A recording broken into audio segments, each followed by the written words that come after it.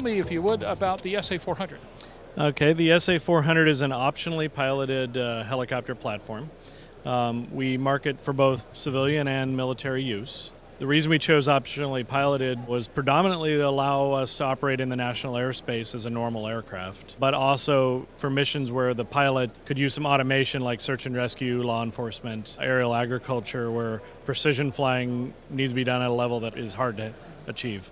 Right now, our first customer for this is the Naval Research Laboratory. They bought the first two aircraft. Navy is a big use because they need to be able to take off and land on a boat, and we do have an autonomous uh, ship based landing software package for the aircraft. We started with a donor aircraft and modified it highly, and then we're in the process of evolving it into a completely independent aircraft. The composite structures are all built in Fort Collins, Colorado, and the airframe is designed for ship based autonomous takeoff and landing and ground based takeoff and landing. We sell this aircraft in an unmanned configuration for 1.2 million. In a manned configuration, it's 1.4 and we try to stay payload agnostic and open-minded for whatever customers want to mount to the aircraft and, and do with it. What kind of payload does it have? It depends on endurance required. We carry four hours of fuel, assuming a 100-pound payload, but of course if we have a shorter mission, we can carry more payload and less fuel. Where do you see the future of this platform? I think the real future could be law enforcement, agriculture, border patrol, ship based security, and things like fishing industry, launching sonar buoys, doing search and rescue missions. You know, we can pick up a soldier in the field without a pilot at risk, so we can go in and extract.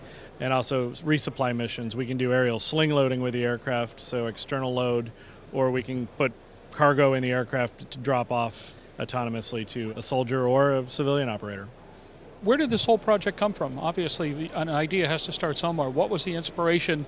What's your development cycle been like, and how long have you been at this? We started the company three years ago. My former company built composite aircraft for a number of manufacturers, and we got together with some partners that brought the automated flight technology to the table and created Scion UAS to create the full package. And we started with the smaller vehicle, the SA 200. Mm-hmm we responded to the Naval Research Lab solicitation for a heavier payload platform, and this was our proposal for that. And we have uh, a larger aircraft in mind in the future as well. Will the larger platform be a unique airframe, or are you going to adapt something? It'll be a unique airframe, although we will borrow some components that are proven components out of industry. We probably will borrow some rotor blades from existing proven systems and potentially transmissions and other components, but it'll be mostly a new aircraft. Jim, thanks for the update. Appreciate it. Right, thank you.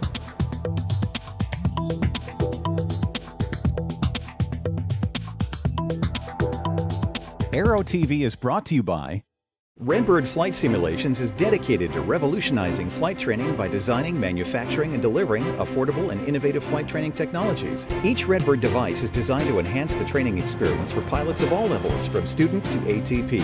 Redbird is quickly becoming the industry standard for flight training. Since Redbird introduced its revolutionary FMX in 2007, colleges, universities, and flight training operations around the world have integrated Redbird products into their curriculum. It's time to discover what Redbird can do for you. Join the migration.